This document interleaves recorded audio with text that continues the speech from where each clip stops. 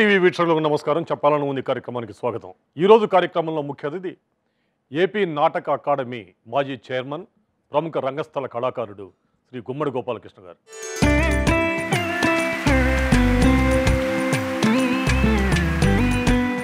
కాలచక్ర గమనంలో అన్నీ అశాశ్వతమే మార్పు ఒక్కటే శాశ్వతం. ఏ రంగమైనా మార్పుని తనలో ఇముడ్చుకుని పయనించేదే ప్రజల మనస్సులకు కానీ ప్రజా జీవనానికి కానీ సామాజిక జీవనానికి కానీ అందుబాటులో ఉండి కొన్ని కాలాల పాటు ప్రయాణించగలదు. పద్య నాటకం అనేది ఇటువంటి మార్పుని ఎంతవరకు తనలో ఇముడ్చుకొని ప్రజలకు చేరువుగా ఉందని మీరు భావిస్తున్నారు? సంప్రదాయానికి మార్పు ఉండదు. ఒక వేదం ఉంది వేద మంత్రం ఉంది దాంట్లో మార్పుని మనం ఎక్స్పెక్ట్ చేయలేం. అలాగే ఒక సంప్రదాయ పద్య నాటకానికి మార్పులు అంటే టెక్నాలజీ ప్రకారంగా మనం ఒక సెట్ వేసుకుని ఇవాళ వచ్చేటువంటి యూత్కి అనుకూలంగా వాళ్ళ మనస్సులు వాళ్ళని వాళ్ళని రంజింప చేసేయటానికి అనుకూలమైనటువంటి యొక్క ఆ పద్ధతులను అనుసరించి మార్పు తేగలమేమో కానీ సంప్రదాయం మాత్రం మార్చలేము సార్. సంప్రదాయం అలానే ఉంటుందిలే కానీ వాళ్ళ మనసులకు అనుగుణంగా రావాల్సిన మార్పులు అయితే రావాలని భావిస్తున్నారు. ఎస్ ఎందుకంటే దాని ఫార్మాట్ అది. ఇప్పుడు మనం ఒపేరాని తీసుకుంటాం. ఒపేరాకి మన పద్య నాటకానికి దగ్గరగానే ఉంటుంది మీకు తెలిసేది. అవును. కానీ అది చూడాలంటే కనీసం మూడు నెలల ముందు టికెట్ బుక్ ఉమ్. వాళ్ళు ప్రతి డైలాగ్ని మన పౌరాణిక పద్యం చెప్పినట్టుగానే చెప్తారు వాళ్ళు. పై టాప్ శృతిలో చెప్తూ ఉంటారు. ఆ గొంతు అనేది టాప్ నోట్లో పాడగలగటం అనేది ఒక భగవంతుడిచ్చిన గిఫ్ట్ వరం. ఆ వరాన్ని కరెక్ట్గా ఉపయోగించుకున్న వాళ్ళే మనకు మహానటులుగా మహాగాయకులుగా రంగస్థలం మీద ప్రకాశించి ఈ మేటి కవులకు కూడా నాటకాల కవులకు ఉన్నంత పేరు తిరుపతి వెంకట కవులకు ఉన్నంత పేరు కొప్పరపు కవులకు లేదు. అవధానులుగా వాళ్ళకు ఉండొచ్చు కానీ వీళ్ళు నాటక పరంగా ప్రజల్లోకి తీసుకెళ్ళారు. ఉమ్. తిరుపతి వెంకట కవులు అనగానే అందరూ గుర్తుపడతారు. బలిజేపుల లక్ష్మీకాంత కవి అనగానే గుర్తుపడతారు. చిలకమత్తి వారు అనగానే గుర్తుపడతారు. కాళ్ళకూర అనగానే గుర్తుపడతారు. జాష్వా గారు ఎప్పుడు పైకి వచ్చారు? హరిశ్చంద్రలోకి ఆయన పద్యాలు పెట్టిన తర్వాత జాష్వా గారు అనేటువంటిది బాగా ఒకసారి మనం పాశ్చాత్య దేశాలను చూసుకుంటే ఒక యూకే కానీ ఫ్రాన్స్ కానీ అట్నే ఇవాళ అమెరికాలో కూడా ఇంకా నాటక రంగం అనేది బాగా ప్రాచుర్యంలోనే ఉంది. అనేక నగరాల్లో ఈ నాటక ప్రదర్శనశాలలు కూడా ఒక రకంగా మరి అవి విజిటర్స్ని ఆకర్షించేంత గొప్ప డిమాండ్లో ఉన్నాయి. అవును. కానీ అత్యంత ప్రాచీనమైన మన పద్య నాటకాన్ని ఎందుకు అంత సుసంపన్నం కాలేదు? ఒకటే కారణం అండి. మీరు చెప్పారు మనకు అక్కడ థియేటర్స్ ఉన్నాయి. ఆ థియేటర్లోకి వెళ్ళి ద మౌస్ ట్రాప్ అనే నాటకం ఒకే థియేటర్లో ముప్పై ముప్పై ఐదు సంవత్సరాల నుంచి ప్రదర్శింపబడుతుంది. అవును. మనం నాటకం పర్మనెంట్గా ప్రదర్శించుకోవడానికి థియేటర్ ఎక్కడ ఉంది అని అని ప్రశ్న వేసుకుంటే మనకు వచ్చే ఆన్సర్ లేదు అని వస్తుంది. అనేకమైన కార్యక్రమాలకి నిర్దేశింపబడ్డ థియేటర్నే మనం నాటకానికి కూడా ఉపయోగించుకోవాల్సి వస్తుంది. నేను శ్రీకృష్ణ తులాభారం అనే నాటకం చాలా హై టెక్నాలజీలో చేశాను. మా డిఎస్ దీక్షిత్ గారు దర్శకత్వంలో నేను కృష్ణుడిగా. అయితే ఒక ఒక మార్పు తీసుకురావాలని. ఆ టెక్నాలజీ సినిమా ఇండస్ట్రీలోంచి ఉన్న జంజాల గారు కావచ్చు మురళీమోహన్ గారు కావచ్చు నాకు గుర్తు ఆ- ఆ- రుద్రాక్ష రాయబారానికి శివలీలలో నేను తయారు చేసినటువంటి ఆ త్రాసును వాడారు. తర్వాత మన ఈటీవీ నుంచి కూడా వచ్చి షూట్ చేశారు అప్పుడు ఐదు రోజుల కన్నా నాకు థియేటర్ దొరకలేని టికెట్ షో పెట్టా. ఒక సినిమా రిలీజ్ లాగా చేశాను నేను. విజయవంతమైన ఒకటో రోజు రెండో రోజు అని యాడ్స్ ఇచ్చా. టీవీలో యాడ్స్ ఇచ్చా. ఐదు వేల పోస్టర్స్ వేసా ఒక సినిమా రిలీజ్ చేసినట్టు చేసేసరికి ఒక అద్భుతమైనటువంటి రెస్పాన్స్ వచ్చి ప్రజలందరూ మూవ్ అయ్యేసరికి నాకు థియేటర్ అయిపోయింది. మళ్ళీ థియేటర్ లేదు. అదే నేను ఒక వంద రోజులు రెండు వందల రోజులు ఆడుకునేటువంటి అవకాశం నాకు ఉంటే నాటకానికి కూడా ఒక పర్మనెంట్ కేర్ ఆఫ్ ఉండేదని నా ఆశ. ఇవాళ మీరు నాటకం చూడాలనుకుంటున్నారు సపోజ్ నేను ఒకరోజే ఆడగలుగుతున్నా రవీంద్ర భారతిలో. ఆ రోజు మీకు వీలు ఉండదు. మళ్ళీ ఇంకెప్పుడు ఆడతాను నేను? మరి ఆ మధ్య శ్రీనాథుడు టెక్నాలజీలో ఒక స్క్రీన్ బ్యాక్డ్రాప్లో అన్నీ కూడా నేను మోడర్న్ టచ్ కోసం చెప్తున్నా. మోడర్న్ టెక్నాలజీని అడాప్ట్ చేసుకునే విధానం గురించి చెప్తున్నా. నేను సత్యహరిశ్చంద్ర మోడర్న్ టెక్నాలజీలో ఎల్ఈడి స్క్రీన్ పెట్టుకుని రియల్ లొకేషన్స్ అన్ని డౌన్లోడ్ చేసుకుని దానికి రిలేటెడ్ ప్రాప్స్ పెట్టుకుని బలిజేప లక్ష్మీకాంత్ కవి గారిని కూడా నేను వేదిక మీద చూపించాను స్క్రీన్ మీద. అసలు సత్యం ఎందుకు చెప్పాలి? ఇవాళ యూత్ అడుగుతారు ఏమని? ఎందుకండి హరిశ్చంద్రుడు అందరిని అమ్మటం ఏంటి? భార్య నమ్మటం ఏంటి? తనమ్ముడు పోవటం ఏంటి? ఇలాంటి క్వశ్చన్స్ అన్నీ వేస్తున్నారు. ఎందుకు వాళ్ళకి ఈ ఈ- ఈ ఈ ఇటువంటి సాహిత్యంతో పరిచయం పోయింది? మనకి మనుషుల్ని నమ్మటం అనేది పాలేరు వ్యవస్థ ఇప్పటికీ ఉంది మనకి. బోయ భీమన్న గారు పాలేరు నాటకంలో ఆ పాలేరు ఐఏఎస్ ఆఫీసర్ అవుతాడు. మరి ఈ అది అదే సంవత్సరానికి అతను నమ్ముకోవటమే అది. స్లేవ్ సిస్టమ్ అక్కడ కూడా ఉంది కదా. ఎక్కడైనా ఉంది. అది ప్రపంచవ్యాప్తంగా ఉంది. అని నేను ఒక క్వశ్చన్ వేశాను. ఒక కుర్రాడు ఇలాగ అడిగితే బాబు నువ్వు చెప్పింది కరెక్ట్ ఇన్ని కష్టాలు పడాలా? అని అడుగుతున్నావు నీ బ్రతుకు ఒక అరవై డెబ్భై సంవత్సరాలు ఎనభై సంవత్సరాలు నువ్వు బ్రతుకుతున్నావు అనుకుంటే నువ్వు చనిపోయిన తర్వాత నీ మనవడు కూడా నేను గుర్తుపెట్టుకోడు. కృతయుగంలో జరిగిన కథ ఇది. ఈ రోజు వరకు కూడా ఎవరైనా నేను అబద్ధం ఆడను అంటే అబ్బా పెద్ద సత్య హరిశ్చంద్రుడు బయలుదేరాడురా అంటాడే కానీ మధ్యలో ఇంకెవరన్నా రాగలిగారా? మరి ఇన్ని యుగాలు నిలబడాలి పేరంటే ఎంత కష్టపడాలి? కాబట్టి దాని ఫలితం ఇది. కాబట్టి ఈ కథల యొక్క నేర్పే సారాంశం ఇది మహాత్మా గాంధీ మరి నేను నా సత్యహరిశ్చంద్ర నాటకం చూసి నేను అబద్ధం ఆడకూడదు నిర్ణయించుకున్నానని కాదు ఆత్మకథలో రాసుకున్నారంటే ఆ సత్యం యొక్క విలువ గొప్పతనం. మన స్కూల్లో సత్యం వధ ధర్మం చర అని సత్యమునే పలకవాలని ఎందుకు? స్లోగన్స్ ఉండేవి మరి అవన్నీ లేకపోబట్టి పరిచయం పోయింది పిల్లలకి. ఇప్పుడంటే పట్టణీకరణ బాగా పెరిగిపోతూ దాదాపుగా సిక్స్టీ ఫార్టీ రేషియోకి సమయం ఫార్టీ ఫైవ్ ఫిఫ్టీ ఫైవ్ రేషియోలో కొన్ని రాష్ట్రాలు ఇవాళ పట్టణ ప్రాంతాలకి జనం ఎగబాకుతూ వస్తూ ఉన్నారు. ఒకానొకప్పుడు పద్యనాటకం స్వర్ణయుగం రోజుల్లో డెబ్భై శాతం మంది వ్యవసాయ రంగం మీద పడి జీవిస్తూ ఉండేవారు. వాళ్ళ కేవలం వర్షాకాల వ్యవసాయం మాత్రమే ఉండేది. తొంభై ఐదు శాతం దేశంలో. అందుకని నాలుగు నెలలు ఐదు నెలలు వ్యవసాయం ఉండేది. ఎనిమిది నెలలు ఏడు నెలలు వాళ్ళు విశ్రాంతిగా ఉండేవాళ్ళు ఈ నాటకాలన్నీ కూడా ఊళ్ళల్లో ప్రదర్శిస్తుండే. కొన్ని గంటల పాటు తెల్లవారి కోడి కూసేంత వరకు కూడా కూర్చునేవాళ్ళు కొన్ని వందల వన్స్ మోర్లు పడతా ఉండే ఒకే పద్యాన్ని నాలుగైదు సార్లు చదువుతూ ఉండేవాళ్ళు కళాకారులు ఎంతో వ్యయ ప్రయాసాలకు వచ్చి కానీ ఈరోజు మనిషికున్న సమయం దృష్ట్యా ఆ సమయాన్ని దృష్టిగా పెట్టుకొని పద్యనాటకం ఎందుకు మార్పులు చేసుకోలేకపోతుంది? నంది అవార్డ్స్ వచ్చిన తర్వాత మీరన్న మార్పు వచ్చిందండి. రెండున్నర మూడు గంటల మధ్యలోనే నాటకం అయిపోవాలనే సిస్టంతో నాటకాలు నడుస్తుంది. రెండు సిస్టాలు ఉన్నాయండి పద్య నాటకంలో. ఒకటి కాంట్రాక్ట్ నాటక సిస్టమ్ ఒకటి టీమ్ నాటకం సిస్టమ్ టీములు మెయింటైన్ చేసినటువంటి యొక్క వాళ్ళు మనకు పూర్వం కూడా మద్దాల రామారావు గారు ఆచండ వెంకటరత్న నాయుడు గారు బిఎన్ సూరి గారు ఒల్లూరు వెంకటరామయ్య చౌదరి గారు వీళ్ళందరూ కూడా టీమ్స్ని మెయింటైన్ చేసేవాళ్ళు. అప్పుడు వాళ్ళు సెట్ లైటింగ్ ఎవ్రీథింగ్ అద్భుతమైన లైటింగ్లు అవన్నీ కూడా వాడి వాళ్ళు అసలు జనాల్ని మైమరిపింపజేసేసారు కొన్ని వందల నాటకాలు ఆడేవాళ్ళు. కాంట్రాక్ట్ సిస్టమ్ వచ్చిన తర్వాత ఏం జరిగిందంటే ఒకటో కృష్ణుడు రెండో కృష్ణుడు మూడో కృష్ణుడు అర్జునుడు ఒక చోట నుంచి వేరే వాళ్ళు ఒక చోట నుంచి తీసుకొచ్చి అక్కడ కూర్చి కాంట్రాక్టరు మీరు నాటకం చేయమనేసరికి ఆ నాటకంలో కావలసినటువంటి టెక్నాలజీకి సంబంధించినటువంటి యొక్క బాధ్యత ఎవరికి లేకుండా పోయింది. వాడు వేషం ఆయనే వేసుకుంటాడు. వచ్చి పాడేసుకుంటాడు. కుర్చీ ఏముంది ఇక్కడ? కృష్ణుడు కూర్చునేటువంటి సింహాసనం ఏముంది? ఇది కూడా చూడడం. ఎందుకు? ఇండివిజువల్గా తనకు ఒక పేమెంట్ అని మాట్లాడుకుంటాడు. అదేనండి. మరి అటువంటి సిస్టంలో నాటకం యొక్క అందం చెడిపోయి ఆర్టిస్ట్ యొక్క ఇండివిజువల్ టాలెంట్కి బాగా ఇంపార్టెన్స్ పెరిగింది. సో ఆ రకంగా మనకి కొంత ఆ, ఈ రోజు కూడా ఈ కాంబినేషన్స్ ఎక్కడైతే మీరు చెప్పినట్టుగా మార్చుకోవటం జరిగింది. మన మూడు గంటలకి వేసే నాటకం ఉంది ఆరు గంటలకు వేసే నాటకం ప్రేక్షకులు రెండున్నర గంటలు మూడు గంటలు చూస్తున్నారు. అదే మళ్ళీ తెల్లారి ఏడున్నర వరకు ఈ రోజు వరకు చూస్తున్నారు. వీటిని తిరణాల నాటకాలు అంటాం ఒక ఉత్సవాలు చేస్తారు. సంవత్సరానికి ఒక ఉత్సవాలు చేసేటువంటి యొక్క ఆంధ్రప్రదేశ్ ఉభయ రాష్ట్రాల్లో మొత్తం చాలా సెంటర్స్ ఉన్నాయి. ఒక్కొక్క నటుడికి సంవత్సరానికి యాభై నుంచి వంద నాటకాలు ఇస్తాయి ఆ- ఆ- సెంటర్స్. వాళ్ళు సంవత్సరానికి శివరాత్రి అనుకుందాం. పది గంటలకు మొదలుపెట్టి అన్ని ఓళ్ళ నుంచి వస్తారు వాళ్ళు. వాళ్ళు తెల్లవారుల కాలక్షేపం నాటకమే. నేను రెండున్నర గంటలు ఆడతానంటే కుదరదు. అది ఒక అది ఒక ప్రక్రియ అది ఒక విభాగం మనకి. థియేటర్కి వచ్చేసరికి అది నడవదు. అవును. కాబట్టి దేనికి దాన్నే గౌరవించాలి.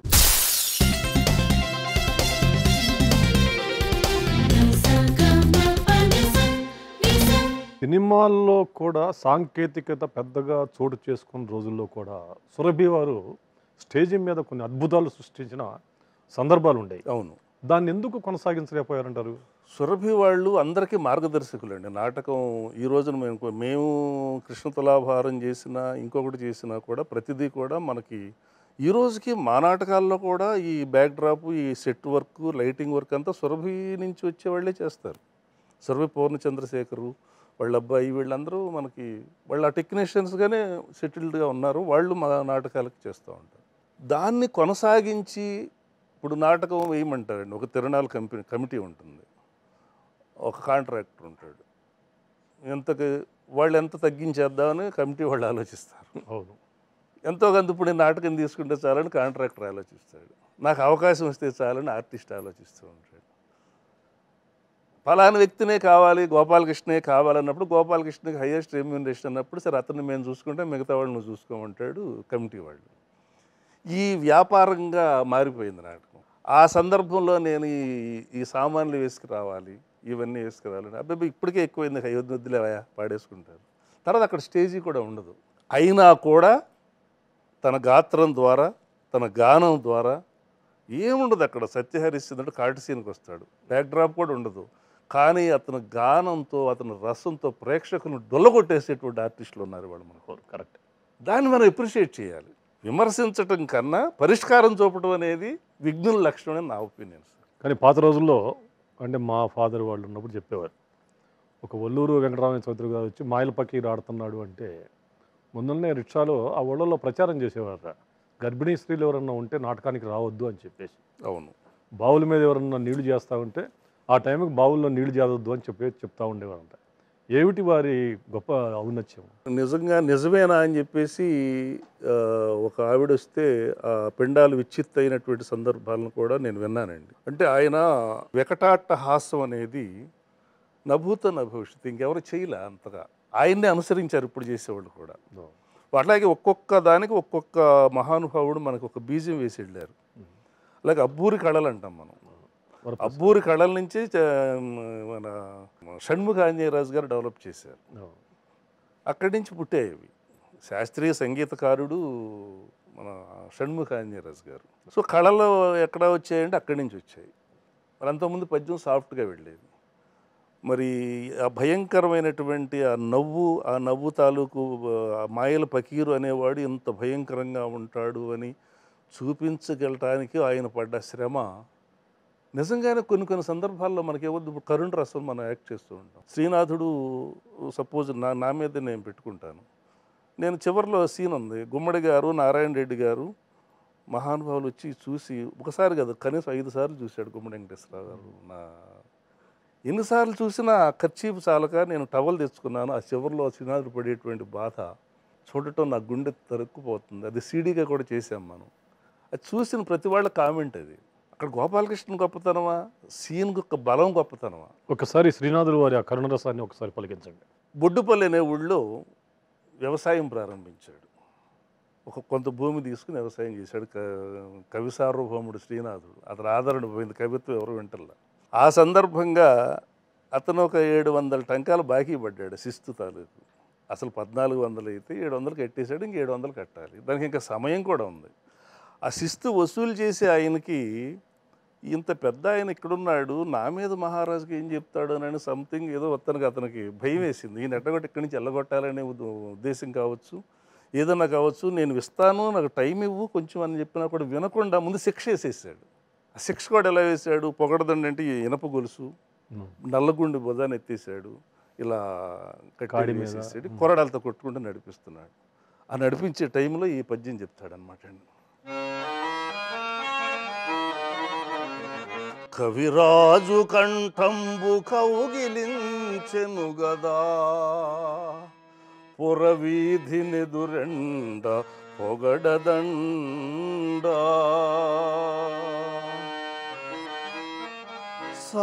సార్వభౌముని భుజస్తంభమెక్కెను గదా నగరి వాకిట నుండు నల్లగుండు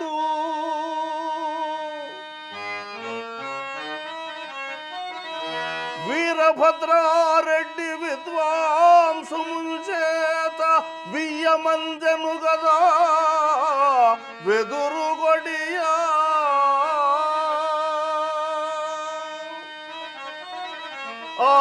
ఆంధ్రనైషధకర్త అంఘ్రియుగ్మమున తగిలియుండెను గదా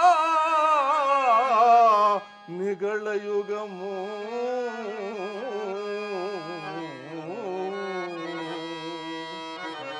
కృష్ణ వీణం మగునిపోయే ఇంత ఫలము. బిలబిలాక్షులు తిలిపోయే తిలలు పెసలు.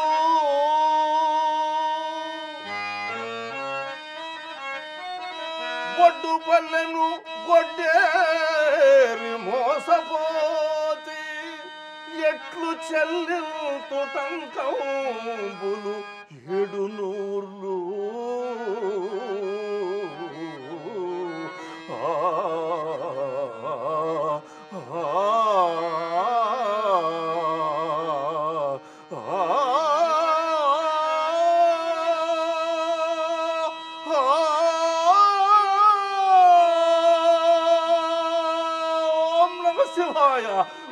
నమ శివాయ. ఓం నమ శివాయ. అద్భుతం. అంత బతుకు బతికిన వాడిని తల మీద నుంచి జారిపడ్డ బంగారు నాణ్యాలను తల వంచి ఏరుకోవటం చిన్నతనమని విజయనగరంలో ఆ కనకాభిషేకం చేసినటువంటి బంగారు నాణ్యాలను వదిలేసి వచ్చినటువంటి శ్రీనాథుడు ఇలా ఆ సీన్ కూడా మనం చూసిన తర్వాత ఇలాంటి స్థితికి ఆ సీక్వెన్స్ యొక్క బలంలో ఏమాత్రం కొంచెం నటించినా కూడా ఆర్ద్రతకి గుండె పాటల్లో రెండు రకాలు ఉన్నాయండి. పాత్ర బయట నుంచి పాడటం వేరు ఇదిగో నేను పాడుతున్నాను చూడండి అని చెప్పి పాడటం వేరు ఇన్వాల్వ్ అయి పాడటం వేరు. అవును అవును అవును.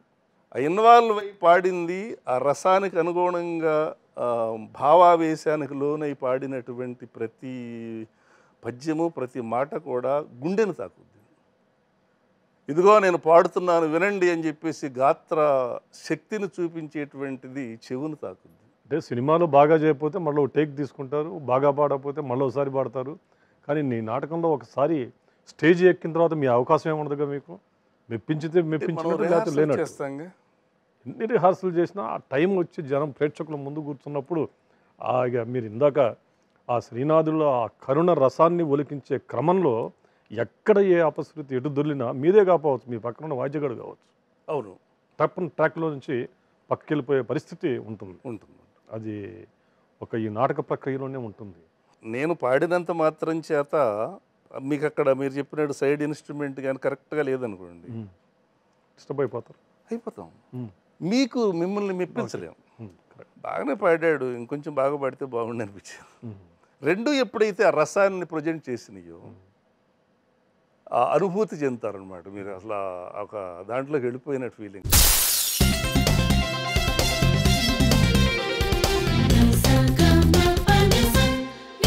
ఇప్పుడు ఒక పద్యాన్ని ఇప్పుడు ఇన్ని పద్యాలు మీరు చదువుతూ ఉంటారు కదా దీనికి రాగం మీరే నిర్ణయించుకుంటారా లేదా పూర్వులు నిర్ణయించిన రాగాన్ని మీరు బాగా ఇది చేస్తుంటారా? రెండు పద్ధతులు ఉన్నాయి సార్. ఇప్పుడు ప్రొఫెషనల్ నాటకాల్లో పూర్వపు నటులు మనకి ఏదైతే ఒక మార్గాన్ని ఇచ్చారో ఆ మార్గాన్ని అనుసరిస్తూ తనదైనటువంటి యొక్క బాణీని కూడా ఒక ముద్రలాగా వేసుకుంటూ ఒకటి. తర్వాత తనకున్న పరిజ్ఞానంతో మన సంగీత దర్శకుల సహకారంతో క్రియేట్ చేసుకోవడం ఒకటి. అంటే వ్యక్తుల స్వరపేటికల ప్రకారం రాగాన్ని మారుస్తుంటారా? లేకపోతే దాన్నే మెయింటైన్ చేస్తారు? మారుస్తారు. మారుస్తారా? ఇప్పుడు సపోజు తులాభారం తిరుపతి వెంకట కవులు పద్యాలు ఉన్నాయి కొన్ని. ఇప్పుడు సపోజ్ జెండాపై కపిరాజు దానికి ఒక శృతి రాగం ఉంటుంది. ప్రతి కళాకారుడికి అది మారుతుంది. ఇప్పుడు సపోజ్ అబ్బూరు వరప్రసాదరావు గారు ఎవరో వీళ్ళు చాలామంది వేశారు కదా. వారి స్టైలే కంటిన్యూ అవుతూ వస్తుందా? లేకపోతే మీకు సొంతమైన స్టైల్ ఉందా దానికి? బేస్ మనం ముఖ్యంగా రాయవారంలో తీసుకుంటే షణ్ముఖ ఆంజనేయరాజు గారు చెలియో చలకోకి ఒక రకమైనటువంటి నోట్స్ లాగా ఇచ్చారు వాళ్ళు. ఉమ్. జెండాపై కపిరాజు గారు మీరు చెప్పినట్టు. మనం మార్చినా కూడా అంతగా అనిపిస్తుంది. ఆ పద్యాలు పర్టికులర్గా మిగతా ఈ ఇప్పుడు కంపోజింగ్ నాటకాలు కొత్త నాటకాలు ఉన్నాయి. మన ఇష్టం వచ్చిన సంగీతం మనం కంపోజ్ చేసుకుంటాం. ఫేమస్ అయిపోయినటువంటి పద్యాలని ఆ బా ఏదైతే బేసిక్స్ ఏదైతే ఉన్నాయో వాటిని తీసుకుని మన గాత్రానికి అనుకూలమైన సంగతుల్లోకి మార్చుకుంటాం తప్పితే నేనైతే ఆ పద్యాలను పర్టికులర్గా మార్చలే నేను. ఇప్పుడు సినిమాల్లో మాధవపేద సత్యం గారు ఘంటసాల గారు కొంచెం పద్యాలు పాడారు. ఘంటసాల గారు బయట నాటకంలో ఉందే తీసుకున్నారా? ఆయన సొంత బాణి చేసుకున్నారా? ఘంటసాల గారు లైట్ మ్యూజిక్ బాణి తీసుకున్నారు.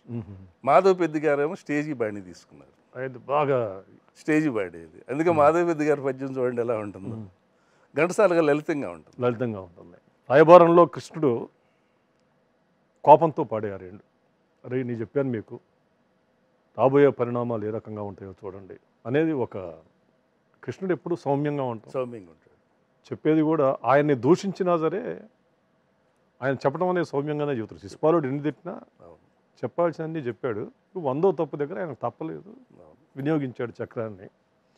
ఈ పర్టికులర్ దాంట్లో మాత్రం కోపాన్ని ప్రదర్శిస్తున్న సందర్భం మనకు కనపడుతూ ఉంటుంది. సో దాన్ని ఇప్పుడు ఈ జెండాపై కపిరాజు కానివ్వండి మిగతా యుద్ధమే చల్లదనుకో తప్పదనుకుంటేవా అని చెప్పేసి చెప్తారు. వాటిని కాస్త మీరు. పరమాత్మ కోపం వస్తే కోపంగా చెప్పడం అనేది అక్కడ కరెక్ట్ కాదు. తిరుపతి వెంకట కవులు కూడా రాసిన దాంట్లో కానీ సందర్భం కానీ అతను ఎవరికి చెప్తున్నాడు? ధృతరాష్ట్రుడికి చెప్తున్నాడు. దుర్యోధనుడికి కాదు. మొట్టమొదటి ధృతరాష్ట్రుడికి చెప్పిన తర్వాత ఎప్పుడైతే దుర్యోధను లీడ్ తీసుకున్నాడో. పర్టికులర్ మీరు చెప్పిన చెలియో చల్లకో పద్యాలన్నీ కూడా ధృత దుర్యోధనుడికి చెప్పాడు. ఎందుకు? యుద్ధం చేసేది నువ్వు. నీ పెత్తనని వేసేసుకున్నావు. ఆల్రెడీ ఆయన మాట లేకుండా చేస్తున్నాడు అక్కడ. కాబట్టి ఇతనికే చెప్పాడు. అక్కడ సందర్భం ఏమొచ్చింది? వాళ్ళు కొట్టుకు చేస్తున్నారు. అశ్వత్థామ కర్ణుడు అప్పుడు చెప్పాడు బావా నీ కొలువు కూటము క్రమక్రమముగా రణకోవడం మొగుతున్నది అవును. వాళ్ళందరూ వెళ్ళిపోకముందే నా మాటలు కూడా విను అని చెప్పాను అవును. అని ఇతనికే చెప్తున్నాడు. ఆ చెప్పటంలో చురకలు వేయటమే కానీ కోపం కాదు ఆయన ప్రదర్శించింది అక్కడ. మా. అర్జునుడు కోపం వస్తే ఎలా ఉంటుంది? అసలు అలుగుటేరుంగని ధర్మ మా ధర్మరాజు ఏమనుకుంటున్నావు నువ్వు? అసలు ఆయన ఎలా ఉంటాడు? ఆ పో అవన్నీ చెప్పేసరికి ఇతనికి కోపం వచ్చింది. దుర్యోధనుడికి. దుర్యోధనుడికి ఎందుకు కోపం వచ్చింది? ఇదేంటి? వాళ్ళని పొగుడుతున్నాడు. వాళ్ళు పెద్ద మహాశూరులు అని చెప్తున్నాడు. మేము శూరులం కాదా? అందులో అభిమానం అతిశయం ఉన్నవాడు ఏం చేస్తాడు? ఎదటివాడిని పొగిడితే ఆ పొగిడేటప్పుడు ఎదటివాడి గురించి చెప్పేటప్పుడు కోపం రసం ప్రదర్శన కుదరదు. నవ్వుతూనే చెప్తాడు. మనం వార్నింగ్లు ఎంత లైట్గా ఇచ్చేవాళ్ళు వేరు? చెప్పే విధానంలో అబ్బబ్బా ఏం చెప్తున్నాడు రా బాబు? అసలు ఈ పొగుడుతున్నాడా తిడుతున్నాడా అనేటువంటి సందర్భంలో చెప్తాడు.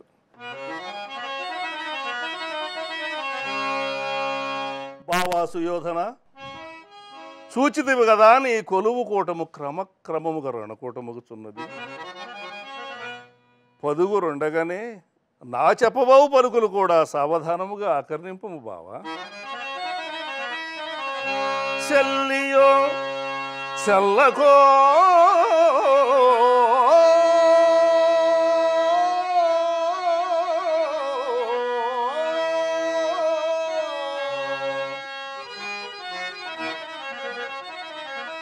చెల్లియో చల్లకో. తమకు చేసిన ఎగ్గులు సైచిరందరు తొల్లి గతించే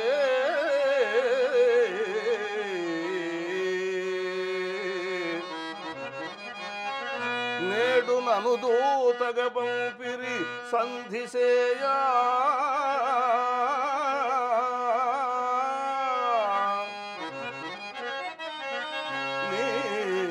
పిల్లలు పాపలు ప్రజలు పెంపు వగింపగ పొందు చేసదో.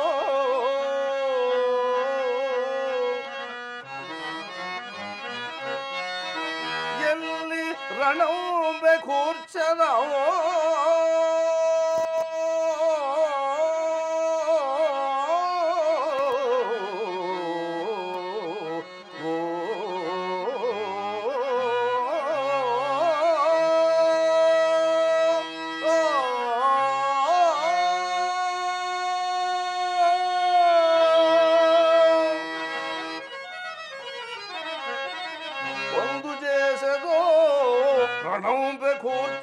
ఏర్పడ చెప్పుము. కౌరవేశ్వరా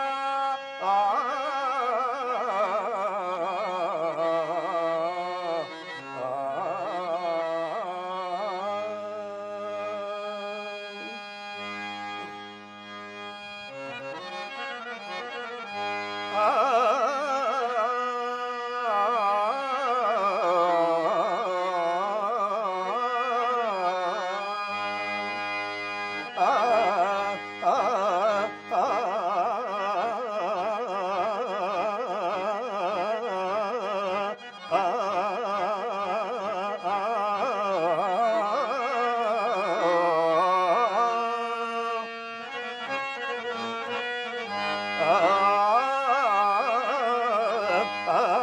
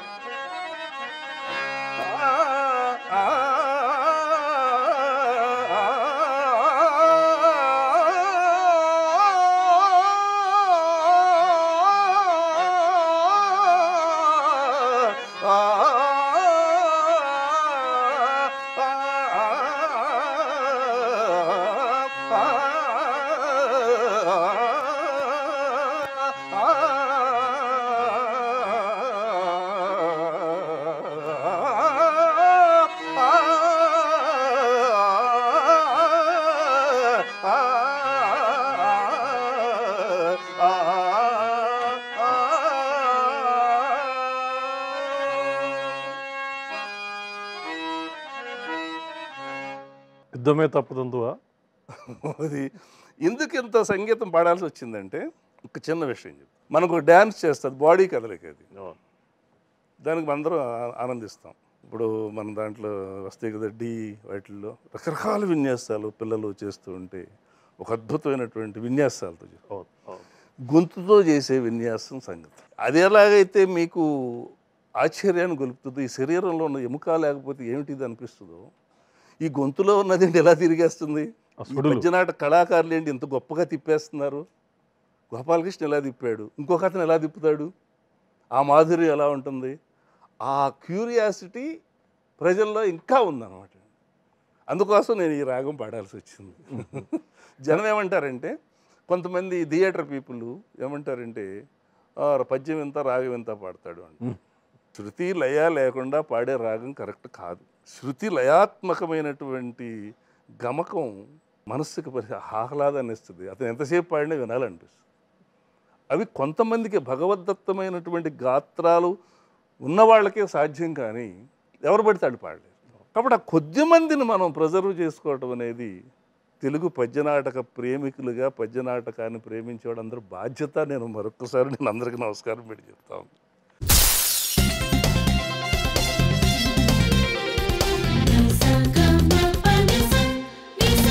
రామాంజన యుద్ధంలో పద్యాలు ఇదివరకు ఆ ఎల్పీస్లో వింటా ఉంటే. రాగం అనేది చాలా చాలా ఎక్కువగా ఉండేది. అవును. అదొకటి. మొదటి ప్రశ్న అసలు ఈ రాగానికి సృష్టికర్తలు ఎవరు పద్యనాటకంలో? రెండు అసలు రాముడికి ఆంజనేయుడికి యుద్ధం జరిగిందా?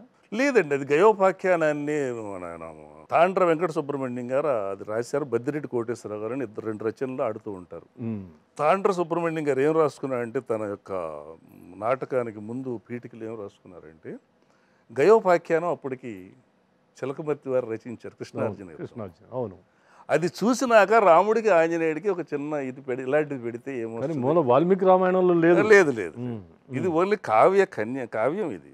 నేను అది చూసి రాసుకున్నాను. దీని కావ్యాన్ని మీరు ఆదరిస్తే నేను ధన్యుడిని అని రాసుకున్నాడు తాండ్ర వెంకట సుబ్రహ్మణ్యం గారు.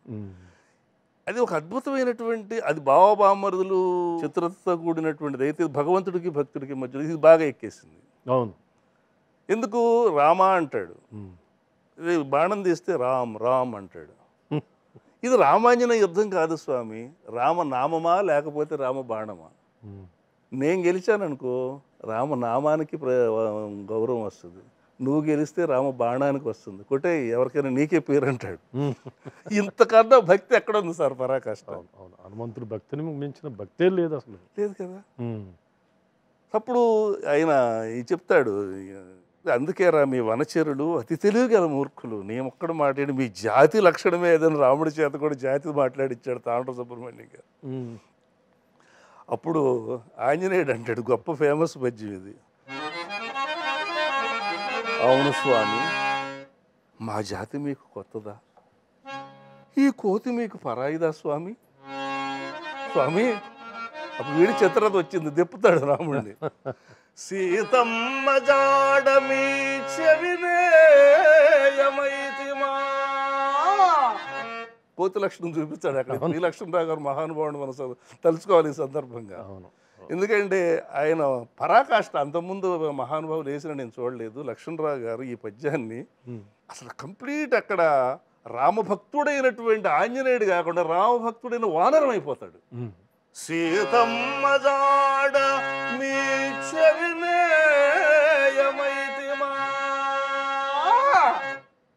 నాటితో రామాయణంబుసుందా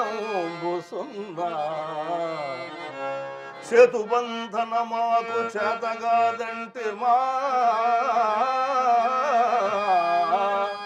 యుద్ధం యుద్ధంబులంకనబద్ధమౌ మైరా ప్రాణ ప్రాణమర్మంబు తెలుపమా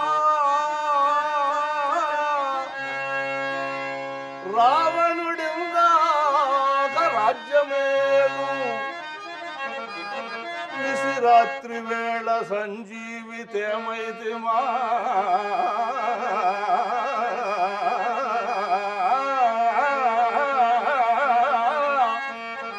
మన సౌమిత్రి స్వర్గాన సభలు తీర్చు ఆలు బిడ్డలే మాకు ప్రాణాలటంచు. అప్పుడు కిష్కింధ వీడి రామైతిమేని. మా జాతి లక్షణంబులు మా కోతి లక్షణంబులు మా కులపు లక్షణంబులు మా జాతి లక్షణంబులు మా కోతి లక్షణంబులు ఆనాడు అప్పుడు మీకు తెలియు ఈనాడు ఇప్పుడు చింతించి వగచిన వగచిన ఏమి ఫలము? చాలా తిప్పాడు. పెట్టేశాడు. ఎక్కడ మాట్లాడాలో తెలియని పరిస్థితి రాముడికి వచ్చింది. ఇప్పుడు రాముడు కూడా అంటాడు అవునయ్యా మీరు అంత గొప్పవాళ్ళే మరి. అంత గొప్పవాళ్ళు అంతటి విక్రమార్కులు అహర్నిశములు ఒక వాలిని గెలువలేక ఎంత ఋష్యముఖమున హీనగతిని పడిగా పులుండి ప్రాణాంతక బాధలను బడి మహాత్ములు మేరలేదిక్కటంచు మా వంతకు వచ్చినట్టి బలవంతులు మీరు మీకెల మీరే సాటి అని ఈయన అంటాడు. అప్పుడు స్వామి రామాయణంలో నా కథ నా గుండె కోస్తే రాముడు ఉంటాడు. నా ప్రతి విషయం మీ ఆశీర్వాదమే ప్రభు. అయితే తీసుకురా. ఎందుకు? మరి ఈ ప్రతిజ్ఞాపాలనమునకు మాట తప్పకూడదని మీరే చెప్పారు కదా. శరణార్థికి అభయం ఇచ్చిన వదిలిపెట్టొద్దని మీరే చెప్పారు కదా. మాట ఇచ్చి ఎలా తప్పుతాను నేను. రామభక్తులకి మాట వచ్చేది నేను రామభక్తుడిని. మీకు ఒకటే మాట ఒకటే బాణం ఒకటే భార్య. రామభక్తులకు అంతే అభయం ఇచ్చాను అంతే. నేను ఏమైపోయినా సరే. అలాగా అదొక గమ్మత్తైనటువంటి సీక్వెన్స్ అద్భుతమైనటువంటి సీక్వెన్స్. అందుకని బాగా జనంలోకి వెళ్ళి. గోపాలకృష్ణ గారు మనకి ఇక్కడ తెలంగాణకు వచ్చేటప్పటికి తెలంగాణ సాయుధ పోరాటం కానివ్వండి తర్వాత వచ్చిన నక్సల్బరీ ఉద్యమం కానివ్వండి ఆ తర్వాత ఇక్కడున్న ప్రజలు పడే బాధల మీద అద్భుతమైన కలు కవులు అద్భుతమైన గేయ రచనలు కానివ్వండి వాళ్ళ జీవితాల్లోకి తొంగి చూసి వాళ్ళ మాటల్లోనే వాళ్ళు మాట్లాడుకునే భాషలోనే అద్భుతమైన కవిత్వాలు చెప్పారు. ఇప్పటికి కూడా ఎక్కడన్నా ఎవరన్నా ఒక కళాకారుడు పాడుతున్నాడు అంటే తెలియకుండానే కొన్ని వేల మంది అట్లా పోగైపోతారు. అవును. అంత ఇదిగా ఇప్పుడు సపోజ్ ఒక గద్దర్ని తీసుకుంటే మీరు అతను వీరులారా సూరులారా రాడికల్లా బిడ్డలారా అని ఒక పెద్ద భారత్ అంటే ఒక ఉత్తేజితము ఒక రోమాంచితము. అది నిలబడిపోయింది ఇప్పటికీ. ఎంత కాలం వచ్చినా మొన్న తెలంగాణ ఉద్యమంలో కూడా ఆ కవులే అద్భుతమైన పాటలు కట్టి ఇచ్చేశారు. సో దానికి వచ్చేటప్పటికి ఈ తేడా ఎక్కడుంది? అసలు మన పద్య దీనికి వచ్చేటప్పటికి. జానపద గేయం ఏం చేస్తుంది అంటేనండి రిధం ఉంటుంది దానికి ఒక ఆట ఉంటుంది. ఆట పాట వెళ్ళి మనం మనం పల్లెల్లో కూడా ఊడిపేస్తా పాటలు పాడుకుంటాం. అవును. జనపదం కొన్ని లక్షణం ఏంటంటే ఇది సులువైన పదాలతో తర్వాత ఒక రిధంతో కూడినటువంటి వాక్య నిర్మాణం కావచ్చు మరి అది ప్రత్యేకంగా ఎవరు రాశారు అంటే సమాధానం కూడా దొరకదు. జానపద అది. జానపద పాటలు అనేవి పూర్వం వచ్చినటువంటి బాణీలన్నీ కూడా ఎవరు కట్టారంటే దానికి ఆన్సర్ ఉండదు. నోట్లోంచి అలా వచ్చేస్తూ ఉంటాయి. దానికి శక్తి ఎక్కువ. అది మేల్కొల్పే శక్తి ఎక్కువ. ఇది సంప్రదాయ సంగీతము సంప్రదాయమైనటువంటి విధానము ఇవేం చేస్తాయి అంటే ఆనందింపజేస్తాయి. రంజింపజేస్తాయి. రంజింపజేస్తాయి. ఉత్తేజాన్ని కలిగించేది ఆ ఆ రెండు క్యారెక్టర్ల యొక్క సంభాషణ తాలూకు వచ్చినటువంటి యొక్క అవుట్పుట్ ఉత్తేజాన్ని కలిగిస్తుంది కానీ పాత్రలోకి వచ్చినప్పుడే వస్తుంది అది. ఇంతకు ముందు ముందు చెప్పినట్టు రామాంజనేయ యుద్ధంలో ఆంజనేయుడు వదిలిపెట్టాడు రాముడు రమ్మంటాడు వాడిని చేయలేడు భక్తుడు. కొడదామంటే రామ అంటున్నాడు. గొప్ప విషయం. ఈ సీక్వెన్స్కి జనం ఎంజాయ్ చేస్తారు. అదే ఇండివిజువల్గా వచ్చి నేను పాడాను అనుకోండి. ఇది వాడికి అర్థం కాదు. జనపదం అర్థమైపోతుంది. వాడి సమస్య అది. ఇది ఒక కథ. కాబట్టి నేనేం చేస్తున్నానంటే ఇప్పుడు అనేకమైన పద్యాలు రాస్తూ నేను తెలుగుదేశం పార్టీకి చంద్రబాబు నాయుడు గారికి భక్తుడిని ఒక రకంగా చెప్పాలంటే ఎన్టీ రామారావు గారికి భక్తుడిని ఆ తర్వాత చంద్రబాబు నాయుడు గారికి భక్తుడిని నా పద్యాల ద్వారా ఇప్పుడు కొంత రెవల్యూషన్గా తీసుకొస్తున్నా. పద్యాలు రాయటం నాకు వచ్చింది.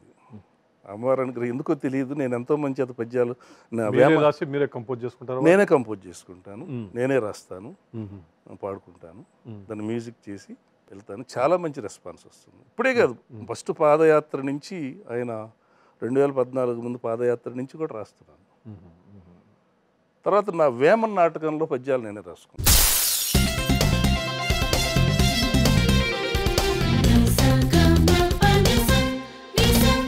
మీరు బాగా పీక్గా ఉన్న బాగా ఇదిగా చేస్తున్న రోజులు మీకు సినిమా అవకాశాలు కూడా వచ్చాయి. కానీ. మీరు సినిమాలోకి పోయి ఉన్నట్టయితే బహుశా చాలా గొప్ప క్యారెక్టర్ ఆర్ట్ ఆర్టిస్టో ఏదో అయి ఉండేవారు. కానీ మిమ్మల్ని నాగేశ్వరరావు గారు గుమ్మడి గారు సినిమాల్లో కొద్దు నువ్వు నాటకాన్ని బతికించడానికే పుట్టావని అన్నారంట నిజమేనా?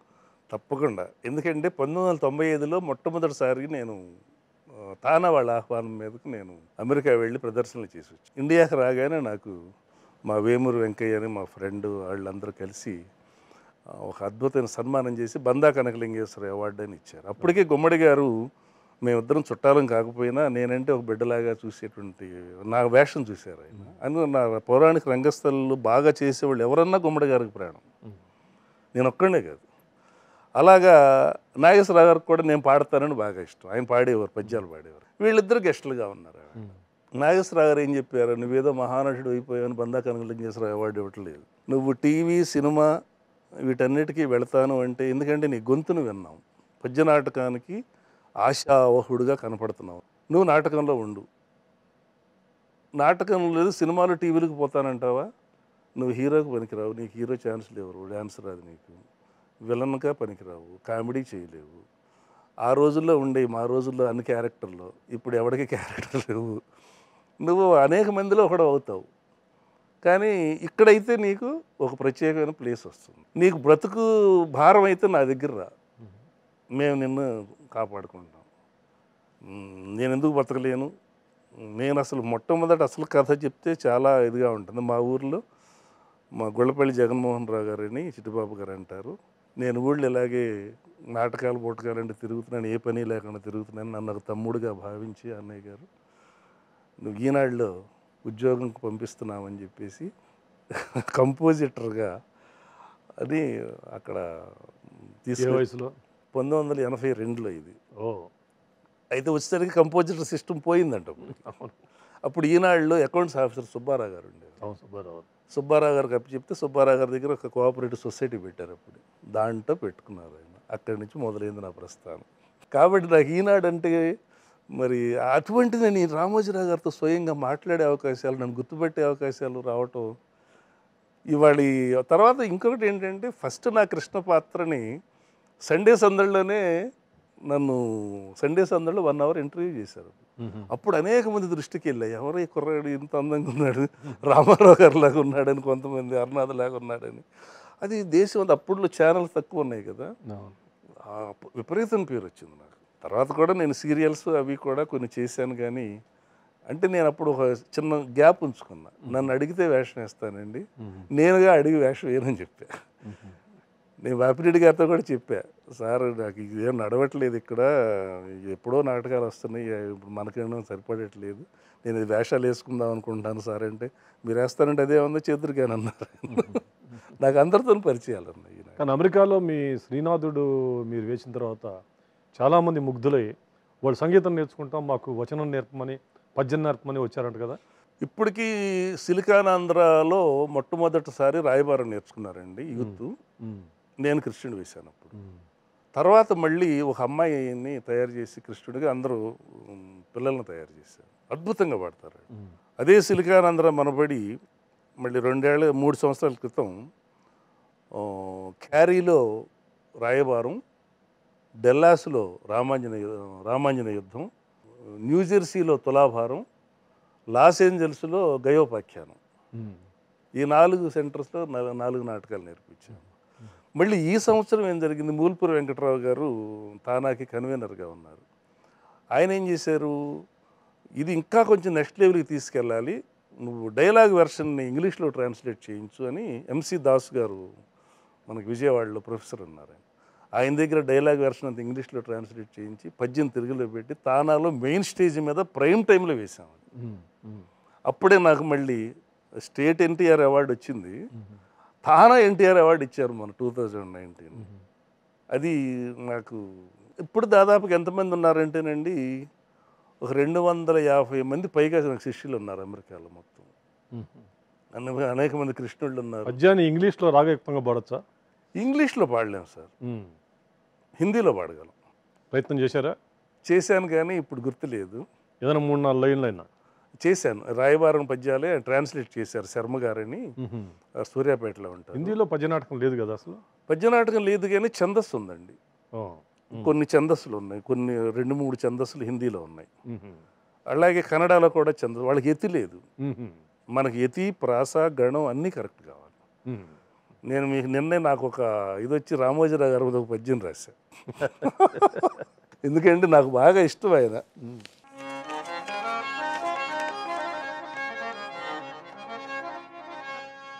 అపర విశ్వామిత్రుడవనికి దిగి వచ్చి అపర విశ్వామిత్రుడవనికి దిగి వచ్చి రామోజీరావుగా రాణకెక్కే. సృష్టికి ప్రతి సృష్టి స్ఫురింపగాజేయు సృష్టికి ప్రతి సృష్టి స్ఫురింపగాజేయు. రామోజి చిత్ర నిర్మాణపురము జ్ఞానంబు నేర్చిరి ఈనాడు చదువుటం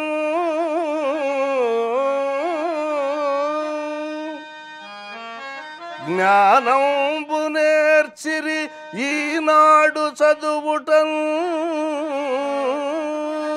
పామరుండును కూడా పల్లెలందు. ఈటీవి పుణ్యంబు మేటి కళల వెల్ల అగ్రపీఠమునలరారుచుండే అన్నదాతయు నిరుద్యోగికి ఆత్మబంధు పల్లెనొదయించు అసమాన భాస్కరుండు. మహిని మానవ జాతికి మార్గదర్శి. సవ్యసాచిని మించిన సవ్యసాచిని మించిన సాధకుండు.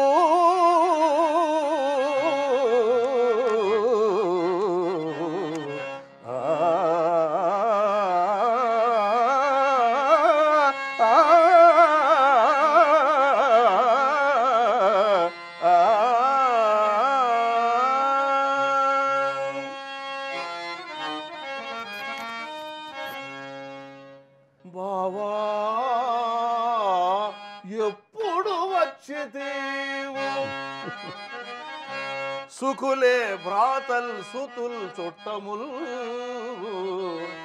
నీ వాలభ్యము పట్టు కర్ణుడును మన్నీలు సుఖోపేతులే. నీ వంశోన్నతి కోరు భీష్ముడును నీ మేల్గోరు ద్రోణ